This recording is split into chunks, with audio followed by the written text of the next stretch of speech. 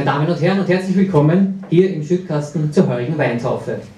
Gehört haben wir sie ja schon und deswegen möchte ich als allererstes diejenigen vorstellen, die heute für den musikalischen Rahmen sorgen. Und zwar sind das die Veltliner. Danke.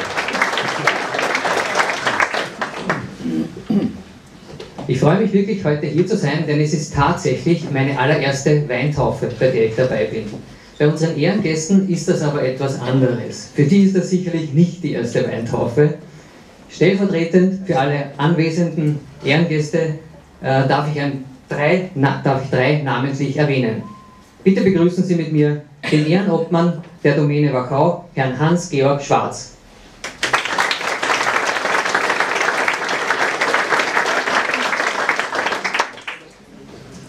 Herrn Bürgermeister Armin Sonnauer.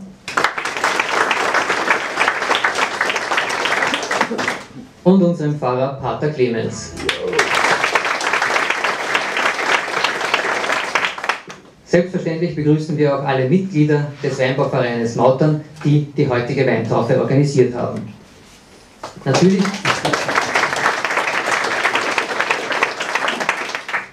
Natürlich gibt es dann noch zwei wichtige Personen am heutigen Nachmittag, aber zu denen kommen wir etwas später. Ich darf nun Bürgermeister Herrn Armin Sonnauer und den Obmann des Weinbauvereines Mautern, Herrn Johann Moll, zu mir und um ein paar Begrüßungsworte bitten. Gut, geschätzte Damen und Herren, es freut mich, dass nach 15-jähriger Pause der Weinbauverein Mautern wieder die Weintaufe selber ausrichtet. Besonders freut es mich, dass wir so viele bekannte Gesichter sehen, die was ja eigentlich alle unsere Kunden sind und denen, was wir gerne unseren neuen Wein hier präsentieren. Um die Sache nicht unnötig zu verlängern, glaube ich, sollte der Bürgermeister ein paar Worte sagen und weil jeder hat, glaube ich, schon einen Durst, nicht nur Musikanten, ja, ich weiß eh, aber jetzt kriegt zuerst einmal ein Appello für, für die Lippen, gell? Okay. Gut, danke schön. Ja, für mich ist es heuer die erste Weintaufe, obwohl also in den vergangenen Tagen hätte ich also drei oder vier Einladungen gehabt, die ich äh, ja, äh, nicht, äh, denen ich nicht gefolgt bin aus Gründen der Gesundheit. Aber heute machen wir Ausnahme. Und heute wissen wir, in Mautern ist die Weintaufe immer ein Erlebnis. Wenn man einfach nur in die Umgebung schaut, oder so, da kommen die römische Mauer, und bei den Römern hat es schon den Wein gegeben, ob das stimmt. In Wiener Veritas, im Wein liegt die Wahrheit. Das habe ich noch nicht herausgefunden. Ich hoffe, es stimmt, aber ganz sicher bin ich mir nicht, denn manchmal denke ich mir, die Wahrheit ist gar nicht so schön. So, vielen Dank, meine Herren. Jetzt haben wir einmal genug geredet. Jetzt ist wer anderer dran. Nun sehen und hören wir Herrn Ludwig Winkler, der uns eine Kostprobe aus einem seiner Werke gibt.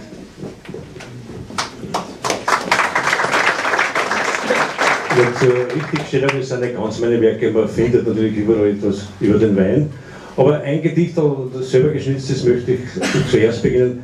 Der Wein hat natürlich auch eine politische Bedeutung und man kann ihn auch von dieser Seite betrachten. Der Wein, politisch betrachtet, ist ja ganz ein besonderer Fall. Weil beim Wein, da sind eigentlich die Grünen Überzahl. Ja, und auch von den roten Trauben kriegt der Wein noch keine Farbe. Sind jetzt die roten also auch grün? Das ist ja wirklich arg.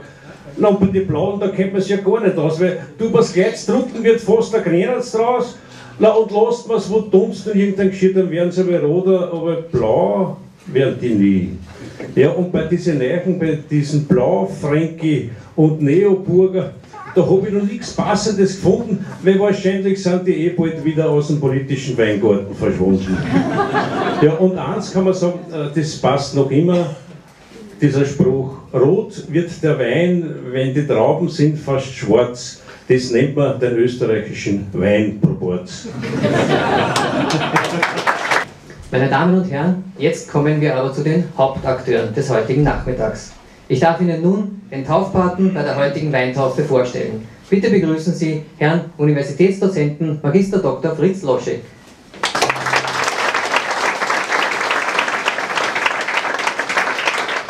Ja, herzlich willkommen, Herr Loschek. Wie sind Sie denn nach Mautern bzw. zum Mauterner Wein gekommen? Ja, wunderschönen guten Nachmittag, meine Damen und Herren, liebe Freunde. Äh, mein, mein Weg nach Mautern war eigentlich vorgezeichnet. Ich bin zwar gebürtiger Statzendorfer und habe dann mehrere äh, Zwischenstationen eingelegt, wo ich gelebt und gewohnt habe. Es war Wien, es war München, Krems. Ich habe mich aber ja beruflich immer schon mit Mautern beschäftigt, beschäftigen müssen, an einer klassischen Sprache, also Latein studiert und Geschichte und äh, schwerpunktmäßig noch dazu die Antike und Mittelalterkunde natürlich um den heiligen Severin äh, und um Mautern nicht herum. Also insofern war mein Weg nach Mautern vorgezeichnet und als wir dann äh, 95, 96 nach Mautern gezogen sind, in die Schubergstraße, wo jetzt wieder umgebaut wird, äh, war auch wichtig, hat nichts mit dem zu tun, dass ich nochmal von vorne anfange sozusagen mit meiner Frau, nein, das tun wir uns nicht mehr äh, war nicht nur mein Weg nach Mautern äh, für mich ein Thema, sondern auch mein Weg zum Mauterner Wein. Äh, weil das Haus, das wir gekauft und umgebaut haben, das war also leer, da war nichts drinnen. Wir haben viel kakelt und dann haben wir natürlich äh, am späteren Nachmittag oder am Abend immer was zum Essen braucht. Und äh, als wir das Haus äh, gekauft haben, haben wir nicht gewusst, welche strategisch günstige Lage wir uns da äh, eingehandelt haben. Äh, praktisch über die Straßen um war der alte Severinhof vom, vom Karl Schweighofer. Nicht viel weiter war der Malthans, war der Greime, war der Schrefe Wolf. Also wir haben es uns wirklich aussuchen können und wir sind eigentlich nie, nie verduscht und verhungert. Äh, nicht zuletzt aufgrund unseres Hundes oder unserer Hunde, die wir damals noch gehabt haben, haben wir unseren Weg nach Mautern oder zum Mauterner Wein dann äh, auf die Gemeinde ausgedehnt. Ne? Das ist also dann Buchinger, äh, Wiedmeier, da habe ich meine Schulkollegin, meine alte, jetzt unter Anführungszeichen, Schulkollegin Hertha wieder getroffen. Hannevogel Niesner, da hat meine Frau vor allem einen unvergesslichen Abend äh, verbracht mit ihren Maturantinnen von der HTL. Äh, ja, da können wir vielleicht nachher dann noch drüber reden. Ja, und so ist also der, mein, mein Weg äh, nach äh, Mautern auch mein Weg zum Mauterner Wein eigentlich gewesen. Und darum ist es für mich wirklich eine Freude und Ehre, dass der Weinbauverein mich als Paten für dieses Jahr ausgewählt hat. Danke. Und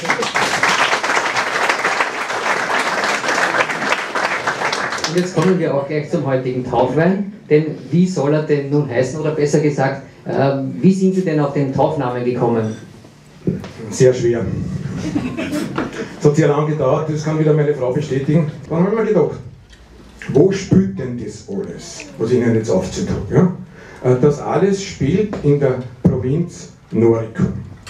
Und daher habe ich mir gedacht, es wäre passend, diesen jungen neuen Wein, wir werden noch hören, äh, wo er herkommt, äh, Noricus zu taufen. Noricus, der norische Wein, und Norisch ist ja durch die Geschichte auch ein Qualitätsziel quasi gewesen. Ja? Das Ferrum Noricum, das norische Eisen, ist also immer schon berühmt und, und sehr begehrt gewesen.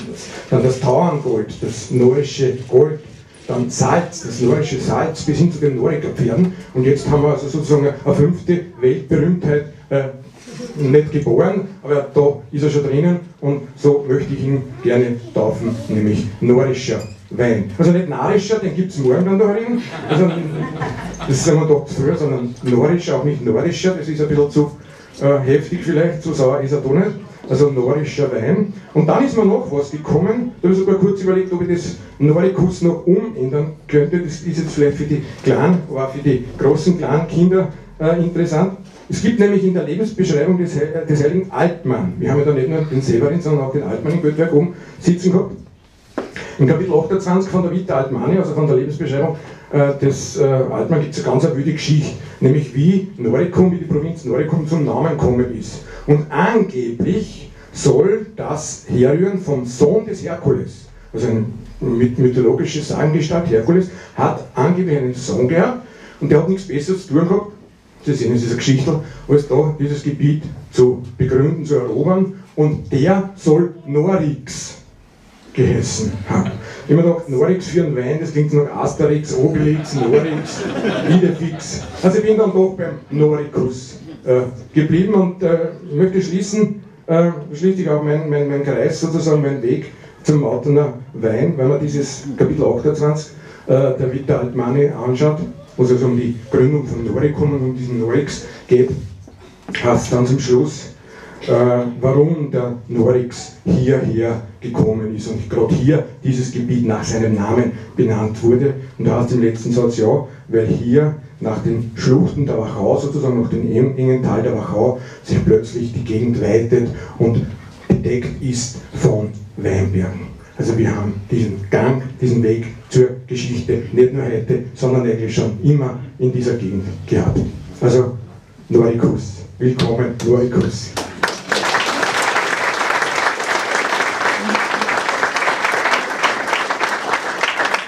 Vielen Dank, Herr Loschek. Jetzt äh, wissen wir also, wie der Wein heißen soll oder heißt, aber noch nicht, wer ihn gemacht hat.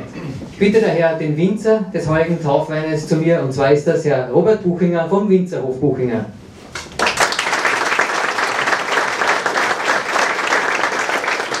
Ja, Herr Buchinger, was ist denn unser Taufwein für ein Wein? Ja, es, ist ein, es ist ein grüner Veltliner aus der Riedstrudel an unserem Wanderweg gelegen zwischen Mauternwag und Mautern auf halber Strecke. Ja, es ist ein, mit mittlerer Schwere, ist ein gutes Steinfeder, Wettliner. Ja, er ist schön, blumig, wie wir letztens noch mal, noch mal nachgekostet haben. ich bin trotzdem sehr stolz, dass das war nicht. Gut, das Jahr, wenn ich das nur kurz sagen möchte, ja, das war ja recht turbulent mit den Hochwässern und war mir recht kalt, dann wieder recht heiß. War ein recht spannendes Jahr. Ja, aber trotzdem ist was Gutes wieder rausgekommen. Und das war halt heuer der kleine Wettrennen für uns. Ja, jetzt wären wir also schon fast komplett, aber zu einer Taufe gehört natürlich ein Pfarrer auch dazu. Begrüßt habe ich ihn ja gleich zu Beginn schon und vorstellen braucht man ihn sowieso nicht. Herzlich willkommen, Pater Clemens.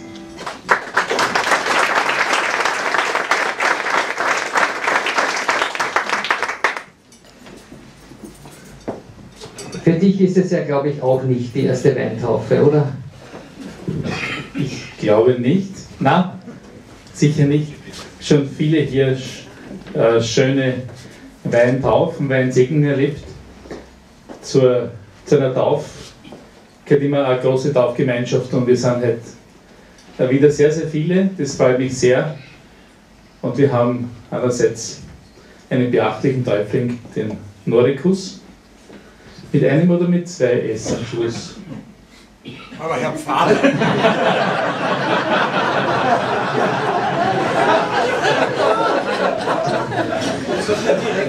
Außerdem, wenn man halt aufpasst hat, wir haben sehr vieles erfahren, von den, vom Farbenspiel äh, im Wein bis zur geschichtlichen Durchwanderung. Ich möchte gerne den jungen Wein jetzt segnen. Segen bedeutet einerseits äh, dem Herrgott danken für das, was gewachsen ist. Aber mit einbeziehen all jene, die sich hier engagieren. Unsere Winzer, alle, die mithelfen, die Familien, die, die auch in ihrer Existenz dran, dranhängen, dass der Wein was wird und der sich auch gut vermarkten lässt. Und so möchte ich jetzt diesen Segen sprechen. Und das Fass ist aber so dicht, dass das Weihwasser nicht eindringen wird, aber es tut das Weihwasser seine Sache, nämlich den Segen Gottes und den Dank an Gott auszudrücken.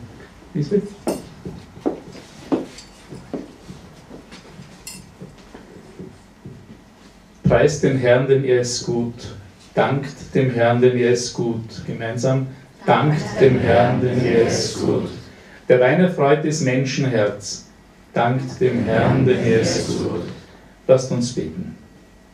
Herr unser Gott, du schenkst uns den Wein als Frucht der Erde und der menschlichen Arbeit. Dein Sohn Jesus Christus hat den Wein erwählt als Zeichen des neuen Bundes in seinem Blut. So bitten wir dich, segne diesen Wein,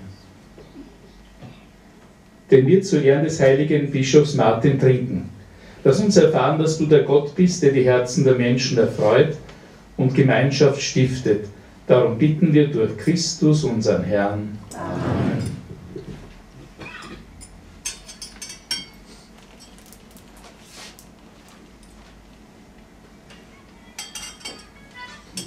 Vielen Dank, Pater Clemens, vielen Dank, meine Herren. Ich darf nun noch einmal Herrn Ludwig Winkler vor das Mikrofon bitten, der uns ein weiteres Mal etwas über den Wein erzählen wird.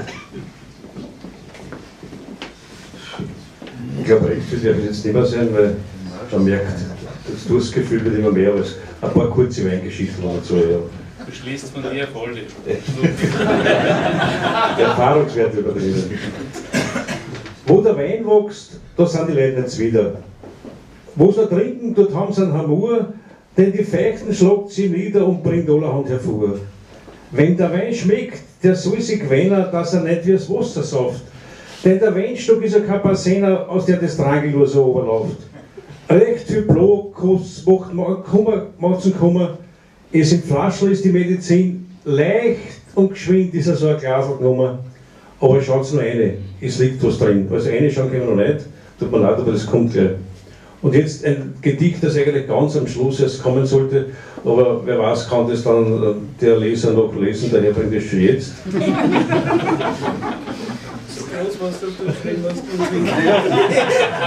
Das ist nicht aufpassen, was der Pfarrer gerade sagt. Ja, rauschig. Rauschig kann man zu denen sagen, äh, die mehr trinken als was vertragen. Das erste Stadium ist beschwingter Leichtsinn, singt man lacht und singt, man könnte die ganze Welt umarmen. In weiterer Folge ist das Erbarmen mit sich selber. Schaderhaft. Der Weltschmerz bockt dann und man schlaft. Oder man schiebt seinen Hut nach hinten, kann stille Örtchen immer finden, redet sich schon selber an mit per se. Man hält sich selber für sehr vis-à-vis, ein Mundgeruch wie eine Flaschenstuppe und rundum sieht man alles im Tuppe. Ja, da stehst dann wilder Schnackerl, beim Autofahren braucht man einen Sacker daheim, fährt man Ringspiel wie ein Bruder und erst am nächsten Tag.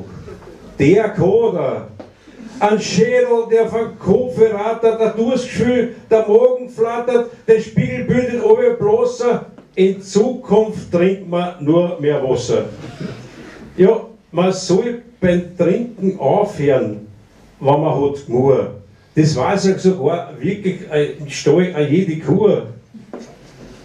Ja, aber beim Wasser, da ist es ja wirklich nicht wahr, schwer. Weil beim Wasser, da wissen es ja jeder selber auch.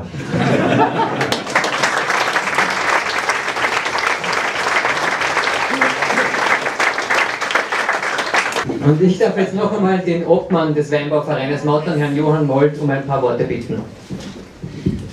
Gut, meine Herrschaften, ein paar Minuten noch, dann gibt es was zum Kosten. Ich möchte mich herzlich bedanken bei meinen Mitgliedern vom Weinbauverein, dass wir alle wieder an einen Strang gezogen haben. Weiters will ich mich bedanken beim Fritz Loschek für die Patenschaft. Wir haben etwas vorbereitet. Du kannst natürlich nicht so viel trinken, was das wert war, was du gemacht hast für uns. Als Weinbotschafter, wir geben dir eine Kleinigkeit mit nach Hause und lass das schmecken. Muss ja nicht in einem Abend leer werden, gell? Flaschen kannst du kalten, Fritz, muss nicht leer werden. Okay. Ich möchte mich bedanken nochmal beim Herrn Pfarrer und Herrn Bürgermeister und lade alle anschließend jetzt auf ein Dorfwein und von den Winzer vermottern andere Staubig ein. Danke nochmals fürs Kommen und einen schönen Abend noch.